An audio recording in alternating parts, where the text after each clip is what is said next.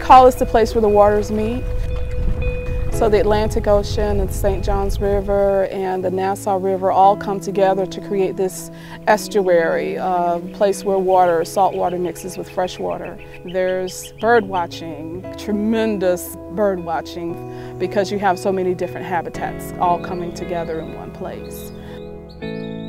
The Timucuan Ecological and Historic Preserve was established by legislation in 1988. They sought to protect the salt marsh ecosystem with over 6,000 years of human habitation. This area has a number of different historic sites and prehistoric sites uh, all within the preserve boundary.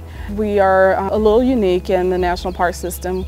Uh, there are people who live here in the park within the boundaries. We have commercial port operations going through the park. There's commercial fishing as well as recreational fishing, boating, kayaking, water skiing, jet skiing. There's a lot of subsistence uses. People are still using the waterways and fishing for dinner.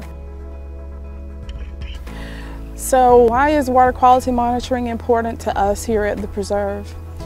You know, water is an essential element and we depend on it for a number of different reasons. You want fish that comes out of clean water, otherwise it'll make you sick. Understanding water quality helps us understand the ecology and the dynamics of the estuary. Uh, without knowing something about those dynamics and the interactions between water quality and the ecosystem, it's hard to manage uh, the estuary or protect it or conserve it.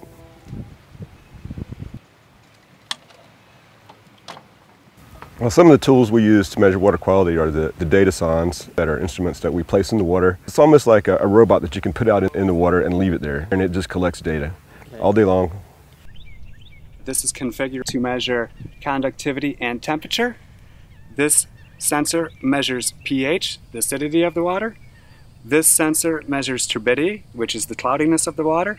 And our last and final sensor is dissolved oxygen. They stay in the water for 365 days a year, seven days a week. They collect data on the temperature of the water, the salinity, the pH, the dissolved oxygen, and all these parameters are important for life in the estuary. In addition to the, the fixed station monitoring that we do here, we also do monitoring on a boat where we go out and visit sites all across the preserve and collect the same kinds of data we also do chemistry samples where we measure the amount of nutrients in the water.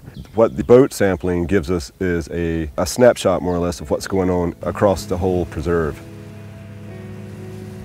A long-term data set is important in that it gives you a really good perspective on how we're doing managing our resource. With continuous water quality monitoring, critical to our success is partnerships. There are a number of different agencies that have a stake in the preserve. A few years ago, the City of Jacksonville, the State of Florida, and the National Park Service formed a partnership, the Three Rivers Conservation Coalition. We are now working as a team, working with the city and the state to develop common protocols, um, and all with the same common goal, and that's understanding water quality in the preserve.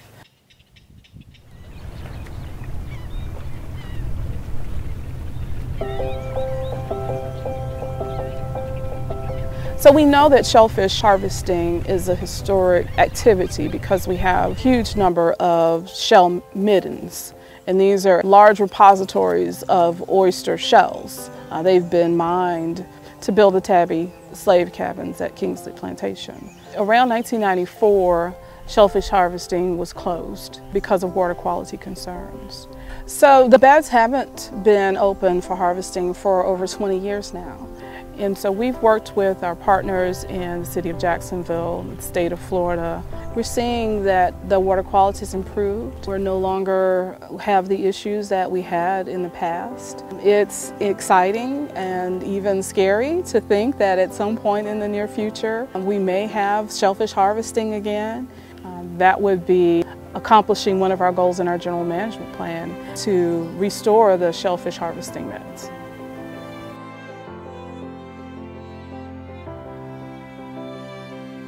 Everything that happens in the preserve is really dependent on the water. So water quality is critically important.